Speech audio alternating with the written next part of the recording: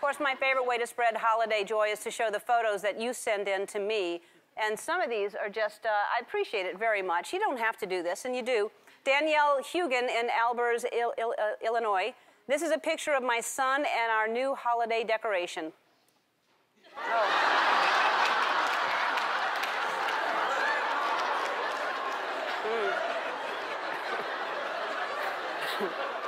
Uh, I really worry for him for Halloween. That is going to be if a snowman is scaring him.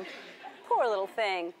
Janet Holmes in Springfield, Pennsylvania. Here's a photo of my family when I was growing up. What were we thinking? you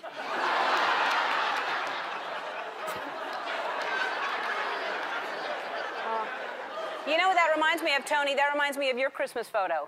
Which? The one of your family.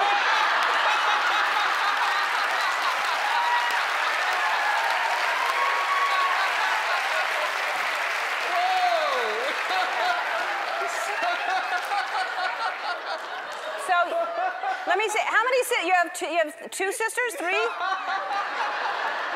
two oh, sisters. Wow. God, y'all look so much alike, know, all of you. That's scary.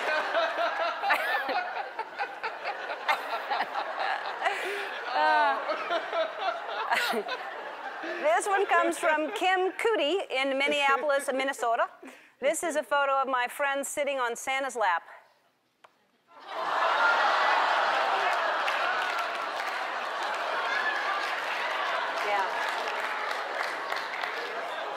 You know, you know what I'd like for Christmas is to unsee that photo. Brittany Nickel Estrada in Wichita, Kansas. This is the most unique Christmas card I've ever seen.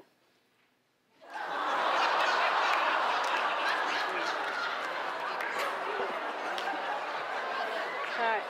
Well, the good news is they love their cat. The bad news is they have two kids.